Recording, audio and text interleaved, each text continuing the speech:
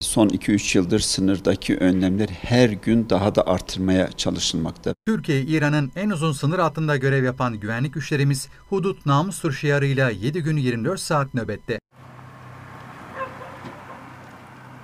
Komşu ülke İran'la 295 kilometrelik sınır hattına sahip olan Van'da, jandarma, kara kuvvetlerine bağlı birlikler, özel harekat polisleri ve güvenlik korucuları geceleri termal ve gece görüş özelliği olan kameralarla tespit ettikleri olaylara anında müdahale ediyor. 24 saat esasına göre devriye gezen hem kara kuvvetlerine mensup sınır birlikleri devreye dolaşmakta hem ikinci hatta jandarma birlikleri devreye dolaşmakta ve il dışından gelen takviye polis özel hareketleri de hem jandarmaya hem sınır birliklerine yardımcı olmak hem de orada çalışma yapan müteahhitlerin güvenliğini sağlamak için sınırda aktif görev yapmakta.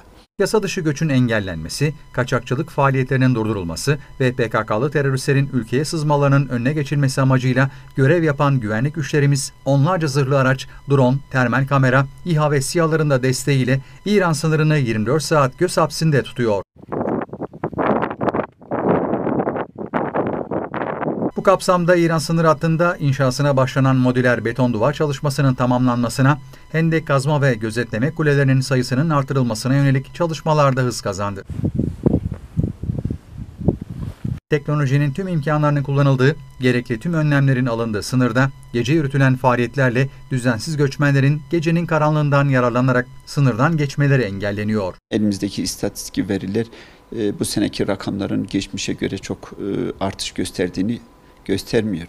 Tam tersine alınan önlemlerle sınırda engellenen sayısında daha bir artış olduğunu rahatlıkla söyleyebilirim. Van valisi Mehmet Emin Bilmez bu faaliyetlerle sınır ve sınır ötesinde tam kontrolün sağlandığını ifade etti. Yakalananlar da hukuk çerçevesinde işlemleri ön kabul merkezine geri gönderme merkezine alıyor. Oradan da bunların deport işlemleri süreci başlatılıyor.